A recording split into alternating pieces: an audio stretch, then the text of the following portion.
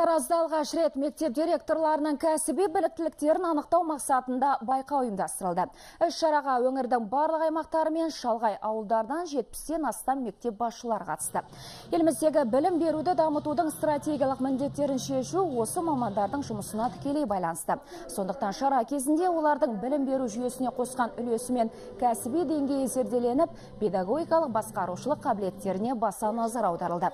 Облыстық байқаудың ақтық кезеңіне жаңашылдығымен көзге түскен 12 директор шығып, өзара үздікті анықтады.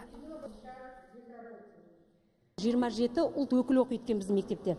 Сол оқушыларымыз көп ұлтты ортада өздерін көрсете білу керек. Өздерін кез келген ортада мәдениетті тұрғыда жеткізу керек білімді болу керек. Осы жасап жатқан жобамыздың бәрі ғылыми негізде және ғылыми талаптарға сүйене отырып және өзіміздің білім берудегі негізгі құжаттарымыздың басшылығымен орындалғанын байқап берді.